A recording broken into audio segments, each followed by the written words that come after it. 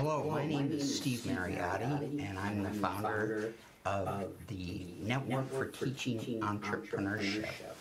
I founded it in a classroom in 1987 in the South Bronx in New York City, and the purpose and mission is to help people start businesses as a way to get out of poverty.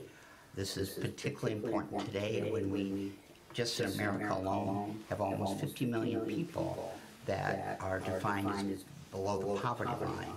With every single night in America, we have 550,000 people that are homeless. So this idea of entrepreneurship uh, being a partial solution to ending poverty, not only in this country, but also abroad, is very, very important. Along this mission, I've been fortunate enough to write 39 books and manuals, and these are two of the top selling uh, books. And there are almost 20 million copies of these 39 different books in print in 19 different languages around the world. We're very, very proud of that. Um, I want to tell you about my next project because I'm really, really excited about it, and I hope that it'll be uh, the best project we ever do to help other human beings um, uh, get out of poverty and achieve the lives that they want to achieve. And this, this project is called The Triumph of the Entrepreneurial Spirit. And it's composed of 25 stories of people that have overcome great obstacles to become entrepreneurs and create successful lives in business and in their uh, personal lives as well. And I realized while I was writing the book that I also wanted to have a documentary, uh, a movie, if you would, but a, a movie uh, that is based on, on truth, an actual documentary of the lives of these 25 people, entrepreneurs. And we are well in the uh, middle of developing that and we spent a year and a half finding the entrepreneurs and filming them, and we're really, really excited about it. Um, I think it could change the, the course of the debate on poverty and self-actualization, not only in this country, America, that I love very much, but also in every country, all 191 countries around the world. One thing I did notice during this search for 25 entrepreneurs who had overcome great obstacles to, to uh, become successful, and, and I call it the triumph of the entrepreneurial spirit, is there's a very high percentage of offshore Chinese, which I think is fascinating, and want to do a separate uh, uh, book and articles on that because I think that that is a really, really important thing to study and to understand. So uh, documentary should be done in a year, and I hope everybody will come out and see it. It'll be used in classrooms, not only in this country but abroad, and the book should come out at the same time. So again, look for Triumph of the Entrepreneurial Spirit. And tonight, I'm fortunate to have two friends uh, that are both in the book and going to be in the documentary. And they're both uh, local entrepreneurs here in Washington, D.C., the, the, nation's capital, our nation's capital. And I want to um, uh, interview both of them uh, one at a time and then have a group discussion.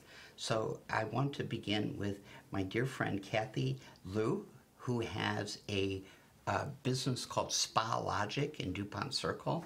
And I always get my nails done there and my, my hair and my facials. So um, uh, your business means a lot to me. So, Kathy, tell us about your story.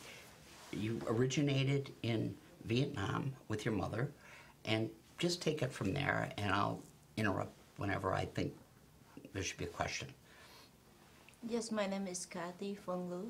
Um, I came to America in 1995 and I went to come, became a nail technician, and I just always want to have my business. And right now, I own a Spa Logic in Washington D.C., DuPont Circle, uh, for five years now. What did you go through when you first um, left Vietnam, and what was it like going to Hong Kong? I think you were four, uh, 13, right? Because you were in a refugee camp. Um, tell us about that. For five years as a teenager. So when I got to a Hong Kong refugee camp, I was, I turned, uh, two weeks after I turned eight, uh, 13. So I have lived in the refugee camp uh, for five years in my teenage age. And was that painful, difficult? What were the? What's a? Most people have never been to a refugee camp or don't have no experience with it. What? I how would you describe it? I was lost a little bit at the beginning because after it, everything happened so quickly. Uh, right after my sister dies, my father and my mom, my parents get divorced. And the last time I saw my dad was in the, in 1990, summertime in 1990, and he came over to the store and give me a hug and give me the money and tell me I'm going to visit your grandfather in Huế and I will be back. So right after that, um, um, I left. My mom took took me and say we're going to see your relative in Saigon, and that was it. And the next thing I knew was the next morning I was at the train station in Saigon, going to Hanoi, and from Hanoi we were in China, and from China we took bus. It was a long journey, but at the time I thought that was um, a vacation dream for me. Wow. Yeah. Did anything really scary or unpleasant happen on that journey?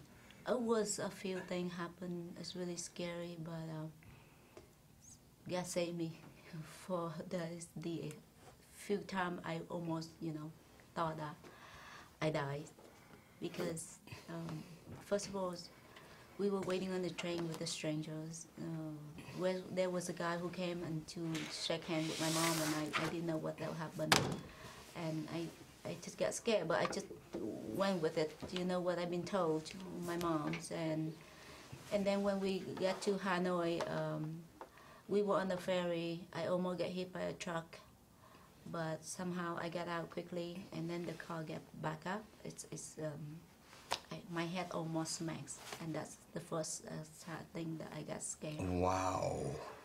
Yeah. What was the boat ride like from uh, to Hong Kong? Were you, you was it a ten hour trip or a day trip? Uh, how tell us about that? It, it, it didn't end there. Um, it's, it's, uh, we have to transfer into a different area, uh, and um, so after that we would we get on the jeep, and somebody took us to the area where it's next to China border. Um, so I didn't know the name. I was too young to know. Uh, so when we went, um, we got told by a leader say that you have to go this direction. So we all ran, and then there was a guy who stopped us in the middle and had a gun. Scary. So it turned out that was a, uh, you know, a, My a time in Vietnam or my childhood, you know, my um, a policeman. my Let's- parents were divorced, let's and watch uh, after a that, quick you know, mom, I was the only child. Then my sister was sick, and my mom has a wholesale um, business store, and she's give the, the, the the product to the vendor. So every uh, e- evening, afternoon, I had to have my mom go collect the money from the vendors, and I learned the business from my mom. Wow, that's a uh, that's a clip from what hopefully will be a There was a home armed with uh, a gun, and they check everybody, and everybody had to show them everything that you know, take out from their pockets, see what you're hiding. Um, in 1991, we had to transfer into a different camp, which is it's called uh, Tai Chau Island.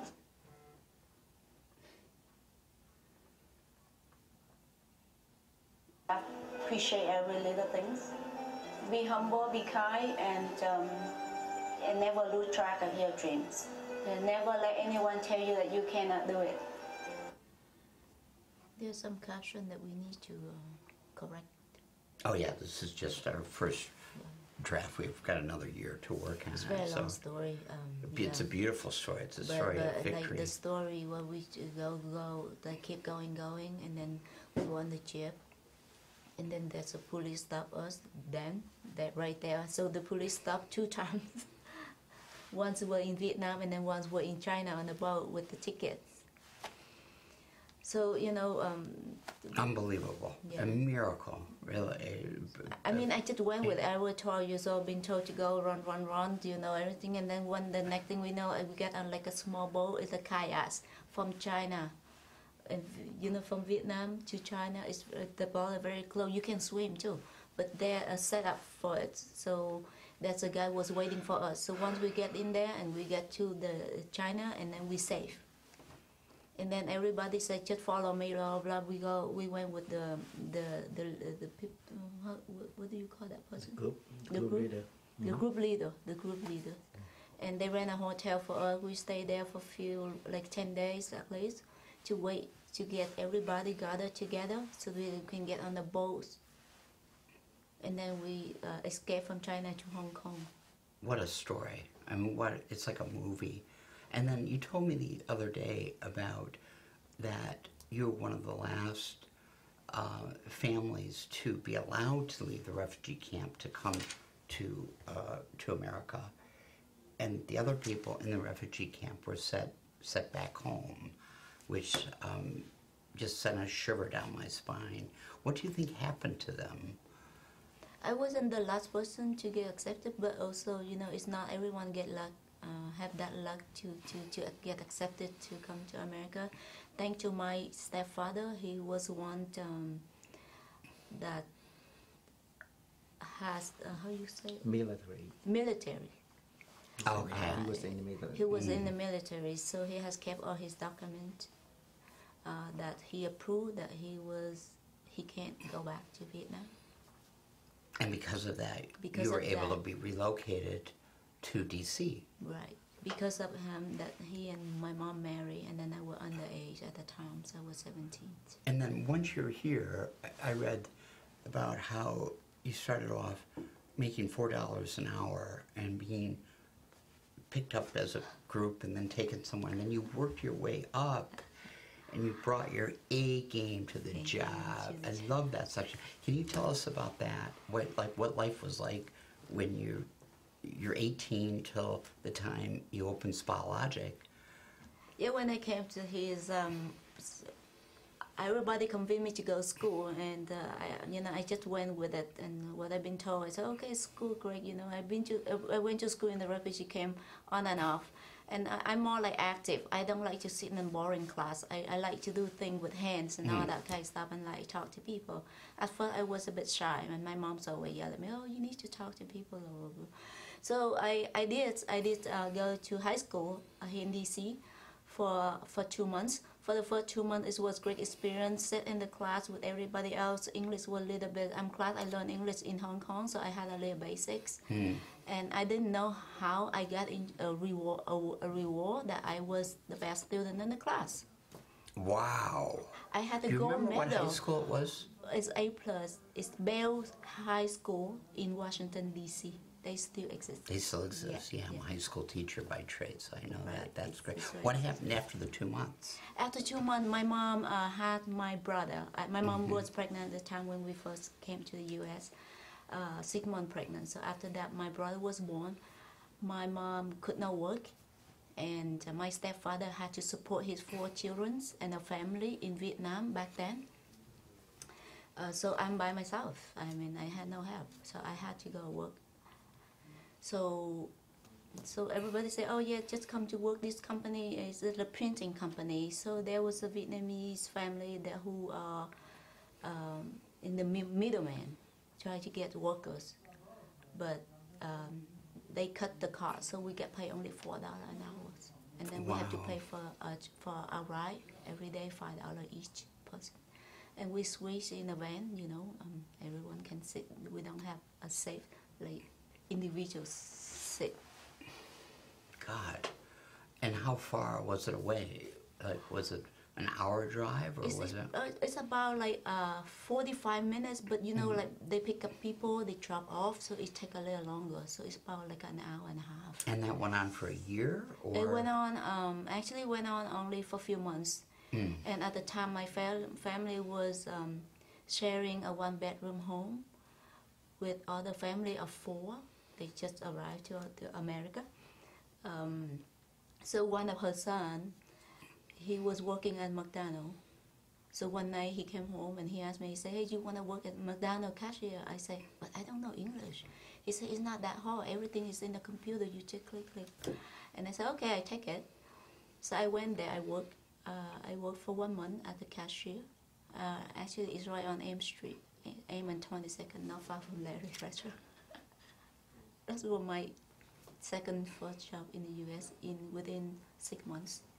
Wow. And then what happened? I'm dying to. And then uh, after that, um, my mom said, you know, why don't you just? I think it's too late. I know you want to go to school, but too late. I mean, like you are 18 now, and you don't want to be sitting in high school for ninth grade.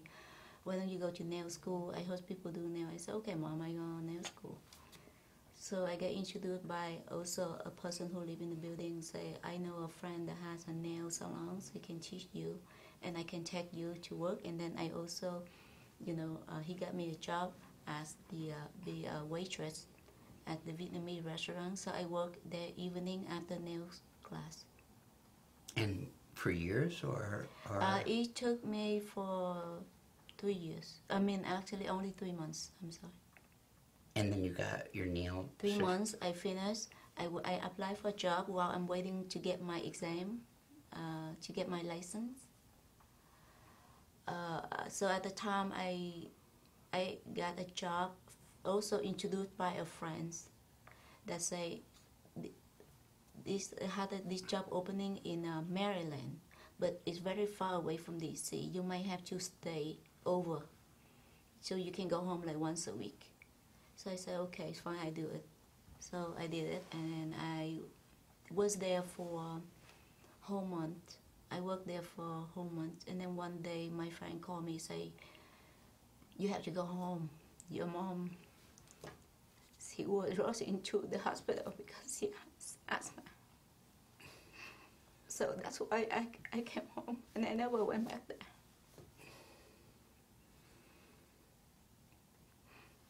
And then I found a job in DC, so I stayed in DC and I worked in the area near Chinatown at the time. It was two months. It wasn't busy place, and somehow I got um. Uh, someone introduced me to the owner, the other owner at the nail salons on U Street, 13 and U. At the time, it wasn't a safe place, but I accepted the job, and I worked with them for 18 months As a as a nail. as a nail professional. Nail professional, yes. Huh. And was your mom all right? What? Uh, did she recover from the asthma? Yes, she recovered, and now Oh. she much better. Oh, thank God. Yeah, Okay. it was tough. Getting, I'll say. I'm very emotional, so you know, like from the refugee camp at the church, teenager running around playing with friends. All of a sudden, all your friends left, and you kind of miss everything, and then you left, and then you came and you start everything. You know, beginnings. It's a miracle. It really is. And then, so I'm, I'm dying to know the rest of the story. 18 months as a, uh, a nail specialist in the salon. Right. And then what happened from there? Each step is a step kind of of ambition, of moving up, so to speak. Yeah. That's Wow. what I love about it. Yeah, yes, I'm very ambitious when I was already young. Uh, when I was working there, um, while waiting for to get my um, professional license, uh, one of the co-workers, she, she's actually older, just like a mother to me, and she said, I, I know this nail salon that are selling, but I, I want, um, I don't want to do it myself. Maybe I, I want you to come and join me. And I said, how much? She said, $40,000. And she said, we, you and I, we can partner with, but I was like 19. What do I know about my American business, you know? I took risk. So I said, okay, I, I go with you. And then she said, she took me, we drove over there, look at the place, and then she told me, I will be talking to the owner inside, see how, how the business running, blah, blah, blah, and you will be standing outside to see how the traffic. And I did it. But I'm glad I didn't go through, you know, I, I mean, it, I, the process I didn't go through. So I and I just stay there still working. I'm professional. Uh, I love my boss. She's very nice. And then one day I have found this lady. Her name Vanda. We still friends until now. Actually, I saw her two days ago. She came by Spa Logic visit. She's very proud of me. And she was um, uh, shampoo assistant at Salon Charisma in DuPont, South DuPont Circle. And she, she loved my job. She loved how I did my job, very neat, very detailed. And then one day she came to me, she said, the salon where I work, they're looking for manicures. And you want to come with me? It's very good area. And at the time, I don't know where's DuPont Circle is. Uh, and I told her, I said, okay, you give me the address. I will go there to meet the owner for the interview. And a lot of time I look back and say, how did I do it at the time? My English so little, the owner was Turkish. And I came interview and they offered me $300, 350 for a week. At the time, I was making almost $500 a week, six days I work and long hours. Uh, so I told him, I said, but I'm making 500 now. You you lowering down my income 350. But he say, but this is area is very good, and this is the beauty like um full service salon. You're the only person who will do nails, so you don't have to share a client with anybody. And I kept thinking about it, and I said, mm, you know what? Maybe just give me a little bit more. How about seven hundred 800 for two for two weeks because every two weeks payroll. 400 a week. Yeah, so 400 week. They say no, we can't do that. So 750. I said okay, I take it, and so I took the offer. After three months, I built up clientele, and I made more than 500 a week without tips.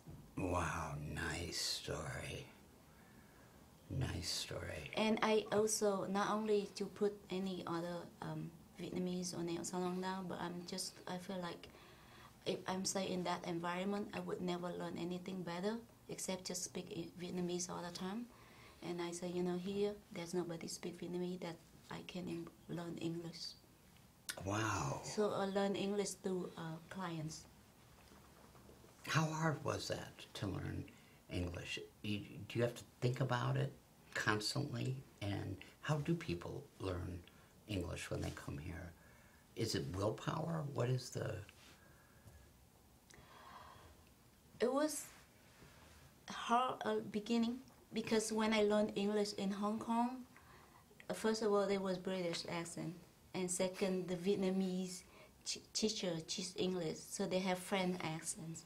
So when I came, I understood I, I can write a lot because I was always writing in Hong Kong, writing my vocabulary, grammar, learning, because we didn't have anybody to practice in Hong Kong, and it was difficult but I try to manage. And if I don't understand the wording, I ask them to uh, spell it for me, so then I can correct my uh, pronunciation. Does that make sense? Yes, it does. A beautiful, beautiful story. I'm sorry, I'm shaking because it's kind of cold. Oh, are you cold? Um, It's okay. I uh, don't want you to be cold. I have a jacket. Uh, is- That's my jacket. That's your jacket. Let me get that for you. Just enter it. Hơi lạnh, so I'm shaking. I get cold very easy. I have. Uh, There you go. Thank you. Steve. It's a All right. live show. It's a live show. I know. Just gonna write it down. Oh, I'm so sorry. Okay. Oh, that's all right. Sorry about that. The audience will love it. Unscripted, the. Mariotti show. All right. We have another uh, 10 minutes. So, Total? yes, it's already the 20 minutes past. Okay. So, what a story. God. Uh, God bless you. I mean, that is. And I, I, um, I love the uh, spa that you have, uh, Spa Logic. I, as you know, I go there often, and uh, just find it very professional and and just every person that works there, I just find to be, you know, just reflects your values of determination and and uh, hard work and kindness and humility, and uh, we're just all proud of you. Welcome to welcome to the country. And Larry, I want to, first of all, I love your tie.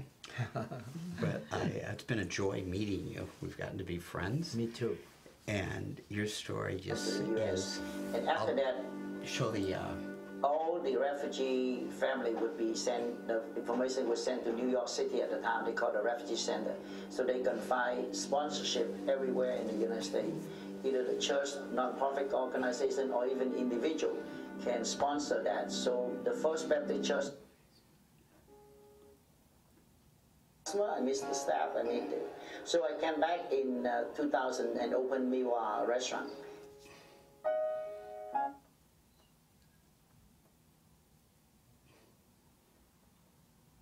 Different from different countries and ambassador from different countries. So we uh, we are lucky. And then after 10 years in the basement, I decided to move myself out. So I thought I don't get out of the restaurant business and do something else, but then I still miss it. I miss the customer, I miss the staff, I mean, so I came back in uh, 2000 and opened Miwa restaurant. Go to business in general and especially restaurant. The three things that, that, that you need to know is work hard, work hard, and work hard. When I was first open, I worked six and a half and seven days a week all the time. And sometimes I have to take the shower at the gym in the building and then stay here at night, sleep on the sofa because it's no way to go home late at night and then come back the early morning. So I stay here many days like that all the time. The second, uh, the second advice I would say is challenge yourself because you have to push yourself hard to, to, to do the thing what you want in this uh, business, what you what your what you go, what is the uh, market that you think you want. So uh, that's the second, and the third thing is running a restaurant. The cost, control cost is the very important. If you don't control cost, your profit margin will be less and less every day. Then is the you have to like people because you deal with people every day, different walk of life. People come from different place, and how you deal with people, and how you take care of the in our business we say so-called the high maintenance customer. Hmm. Regardless of what you do, you never satisfied. But I love to do. I love to take care of these kind of people because I always tell myself if I can take care of the people that so-called high maintenance, everybody else so easy. So that's the, the challenge. You challenge yourself. Yeah, and uh, that's. Wow, what footage. Nice. So, Larry, Larry tell us about, um, and there you are with the president, uh, President Clinton, and uh, graduating from Tennessee State when you first came. Tell, tell us about that last day, uh, or the, the day that you left uh, uh, Vietnam and, and were on the boat for eight and a half days. Well, my name is Larry La, and I was born and grew up in a war in Vietnam. Uh, so we kind of got used to this kind of uh, strategy. But in 1975, called the Fall of Saigon, that's April of 1975, we, the South was taken over by the North Vietnam, and the whole country is under communists. So at that time, a lot of people tried to get out of Vietnam, but uh, only the uh, people that in the military or the people that used to work for the U.S. government that got to get out at the time. So most of us we just stay there and live under the communist country, and we decided to uh, plan to go to live Vietnam by boat because at that time we realized that it's very dangerous in the high seas. But there's a saying that we rather be dead than red. I mean, we can uh, be dead, but we don't want to live under the communist country at the time. So that's why we left Vietnam and risked our life. And on the boat that we have uh, 292 people on that. And the boat is about 20 feet wide and 60 feet long. It's, it's two levels. All the young people was in the bottom and the older people would be, and the children would be on the top. And so we sailed for eight days and nine nights there uh, in the high seas lucky that we our boat didn't run into any pirates uh, at the time because the pirates were very active in that area at the time because they know a lot of people left Vietnam with a lot of uh, valuable things, so they want to rob that. So we were lucky to to uh, be safe and land in um, East Malaysia, Kuching, Sarawak, on the Borneo Island, and that was 1978. And was that a refugee camp? There's a refugee camp in uh, in that uh, in that city, And uh, so we were lucky to be there because that is the smaller camp compared to a lot of other camps in the West Malaysia. The population is less. We have mm, probably about 1,500, 1,600 the, the most. So in Kuching Sarawak, we just um, almost like in jail because we cannot go out, we cannot do anything, and we are living in the camp that wire around us, and we cannot live because the police around that. So because we are considered to be illegal immigrants at that time in Malaysia, we just there to wait for the UN High Commissioner for Refugee, UNHCR, come to interview, and then after that we have uh, people from uh, different country to come to interview. So we're lucky to get uh, interviewed by the U.S. Embassy people then and got accepted by the U.S. Immigration to come to um, this great country. This is the best in the world. And uh, at that time, we were so lucky that we, uh, the, the refugee camp there, we don't know where, where you're going.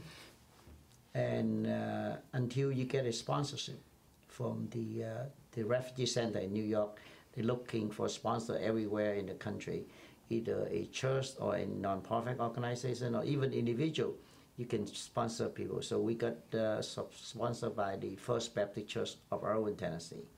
So we got there, and that's a very small town in the valley and East Tennessee. And um, you talking about culture shock, you can find better city than that. They have about 4,000, 5,000 population. Most of the people there, they never see a uh, foreigner or talking about Asian, they never see it. So it's a very, uh, but it turned out to be a very nice city that I was so lucky to be there. So I learned English from there, worked for the railroad as a laborer, as a office boy, and then I got an opportunity to go to East Tennessee State University. So I was working full time and went to school full time. And, and had already learned English? We learned some English in high school when we were in Vietnam, but the English that we had there is could not use in that city. We could not understand them; they could not understand us. I, I think that's a different uh, kind. But at least we can communicate by writing. We write some English, and so from then we we study. It's very tough to be in college at the time that uh, that without a good uh, profession of the English. So we, we um, I always carry my tape recorder, and I always the last one to leave the class because I always stay there to, to ask more questions from the teacher and then study my from the tape. So it's very uh, uh, difficult to get through that, and uh, but uh, we work hard. We work hard, and uh, we overcome there. So I graduated four and a half, five years later, and I graduated with the um, with the um, cum laude. Wow, I nice got the- job. with- yeah, with the uh, with the honor. And have you been back to, uh, I went back because they would be really, pr- no, I mean to. Oh, to Tennessee? Yeah. Oh, yeah, yeah. I've been back uh, many times because uh, um, the I became later on. They asked me to be on the board of the uh, the school, Oh, the cool. alumni. Mhm. So I'm one of the board member, and it's supposed to be four years rotation. But uh, last year I was there and I saw some new faces, and I asked the um, director. I said, "Hey, when time to me to to rotate out?" I said, "No, no, you stay there." So they, they like me, so they I stay there for a while, and I, I enjoy that too. So anytime I go back to Tennessee to visit my uh, school, I got to see my hometown, Erwin, Tennessee, and I still have a lot of folks, friends there. Nice. And then the rise to owning these two incredible uh, Chinese restaurants here in DC. How did you? How did, how did that happen? How did you get your start? And then, did you always know you wanted to be an owner entrepreneur, or what was? I think that we, I was born in, in, in the family of, of business, so I think that we have some some business blood in, in, in inside me. So my father was a very successful businessman in Vietnam. He was the uh, herbal Chinese herbal medicine. He's a pharmacist. So he's but very successful. So I think I, I learned from him too, and I get the blood from him too. But then in 1988, there's an opportunity in uh, the our nation capital, Washington D.C. The chef that want to open the restaurant called City Lights of China, he needs somebody to be in the dining room. Cause he's an excellent chef, but he could not speak English. So, um, so my brother-in-law happened to know him, so he introduced me to them. So I became a junior partner with them. So we uh, started the uh, business in 1988. But then it was in basement, but we have very good business. That's the time that we got to know the uh, President Clinton's people in the 1990s, early 90s. So we were there. So we, we uh, so from there, I was there for 10 years and I worked almost seven days a week at that time to, to build up that. And uh, so after 10 years, I feel like we need to get out of the basement. But my partner didn't want to move because moving a restaurant is pretty expensive. So I decided to move myself out. So uh, I thought that I would be out of the restaurant business, but I still miss it. So we came back in 2000 to open the new restaurant called Meiwah, and that was 18 years ago. And, uh, we And then when, and when did you open And then Chevy three Chase? years later, the owner, uh, the uh, the uh, building owner in Chevy Chase franchise in in Maryland, uh, come to see us in DC and want to offer us the space that they are building. So uh, we accept that and and we take a risk to go to the second floor because they have the two building we have second floor. So I had experience in the basement, on the ground floor, and then now on the second floor. So we're lucky. Then it worked out very well. Friendship Heights in uh, Chevy Chase is a, a good place to be around. I had dinner there last week. It was wonderful. Yeah, so, thank you. but what stories? I salute you both. It's uh, you know you uh, often hear uh, about why people can't do things, and and yet here you have examples, and you know there's thousands of examples of, of this around the world of people who just refuse to say give up and they just they they just find a way to get it done.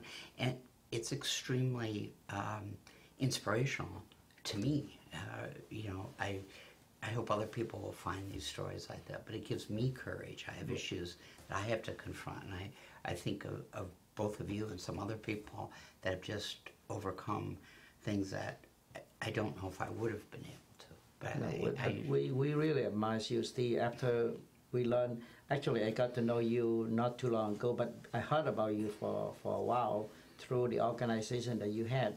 But I didn't realize that one day I got to meet the, pow- the founder of the organization. Thank you. And it's really, entrepreneurship is really the backbone of small business. And that give opportunity for a lot of people out of their poverty or at least for the new immigrants that, you know, born and grew up in the war-torn uh, countries like that.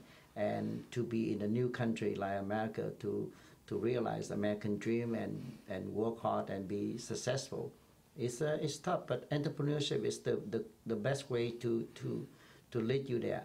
And I'm really very admired for what you start Thank 40, you.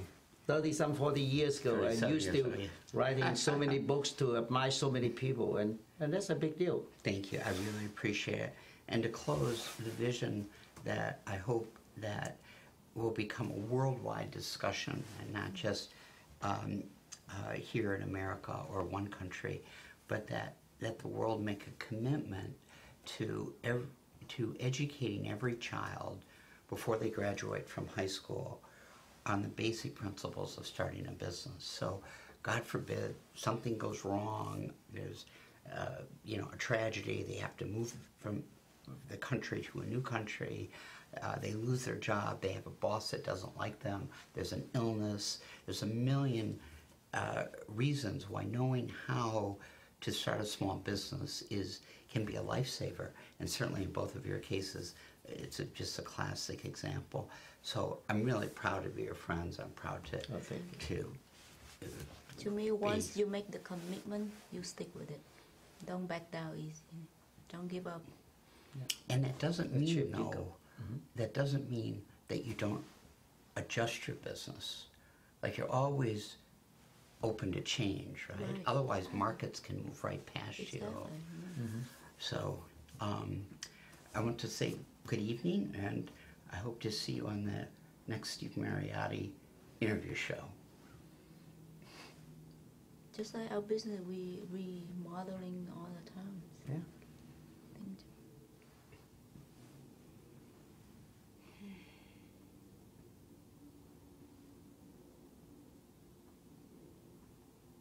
Does anybody have any ideas for a small business that you could start right now as a kid? Mariotti changed his way of teaching. And you can trade with anybody in the room. Now, He started talking about making money. And suddenly the kids were different. Thank you. when you hear people complaining, You still see those All right, students? Bill Gates start off with zero. rule for kids. It's not a color thing. You know, it's an opportunity thing. So greed has its benefits, but aren't we ignoring the downside?